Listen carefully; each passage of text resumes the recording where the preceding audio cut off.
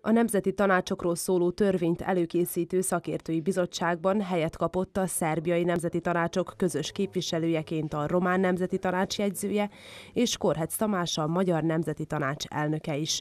A szerb igazságügyi miniszter döntése értelmében a munkacsoport feladata az volt, hogy előkészítse a törvény módosításának tervezetét azzal, hogy nem módosíthatták a hatáskörökre és a pénzelésre vonatkozó szakaszokat. Magam részéről úgy ítélem meg, hogy a tervezet jelenlegi formájában elfogadható a magyar közösség számára, elfogadható a többi kisebbség számára is, és bízom benne, hogy egészében véve ezek a megoldások előre viszik az ügyet, és zöggenőmentesen le lehet majd bonyolítani a jövő évi nemzeti tanácsi választásokat.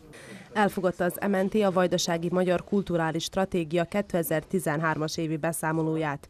A Magyar Nemzeti Tanács áprilisi ülésén az Aracsi Puszta templom megőrzésével kapcsolatos döntést követően nemzetközi művészettörténeti, régészeti és műemlékvédelmi konferenciát rendezett.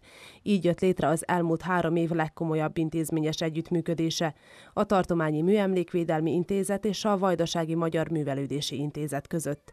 Az MNT saját eszközeiből és pályázati pénzekből megkezdte Szabadkán a Kosztolányi Dezső Emlékpark létrehozását. Kiemelt fontosságú eredmény, hogy a Magyar Nemzeti Tanács támogatásával a Zentai Magyar Kamaraszínház állandó társulattal bővült. Lovas Ildikó, az MNT kulturális tanácsosa kiemelten fontosnak nevezte a Szabadkai és az Újvidéki Rádió régi irodalmi és kabari műsorainak digitalizálását.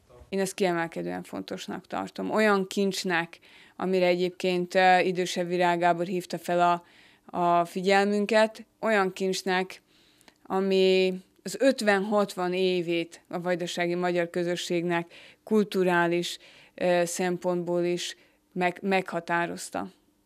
Elfogadta az MNT a Vajdasági Magyar Média Stratégia megvalósulásáról szóló beszámolót. A Pannonár TV gyökeres változásokon ment keresztül, amelyek lehetővé teszik, hogy a médiaház be tudja tölteni a Vajdasági Magyar Média Stratégiában kijelölt feladatait, vagyis a Vajdasági Magyar Televízió hálózat kiépítésében és vezetésében a központi szerepet. Módosították az ülésen a Magyar Szó lapkiadó Kft. munka és pénzügyi tervét is. Az ilyen pénzügyi terv módosítások általában negatív értelemben történnek, itt viszont ez pozitív értelemben, tehát az idei év első kilenc hónapja a tervezetnél és a vártnál jobb eredményeket hozott. A magyar szó tehát kilenc hónap gazdálkodása után már pozitív mérlegen van. Elfogadták az Oktatásfejlesztési Stratégia 2013-as évi megvalósulásáról szóló beszámolót. Egyebek mellett a vajdasági magyarság képzettségi szintjének emelése céljából a Magyar Nemzeti Tanács már harmadik éve üzemelteti komplex felsőoktatási ösztöndíj programját. Jóhorti Lívia, Közoktatási Bizottság elnöke elmondta a beiskoláztatási programmal kapcsolatban, hogy idén 1851 kisdiák indult magyar nyelven első osztályba. Kiemelte az iskolabusz program jelentőségét, nőtt az igénylések száma.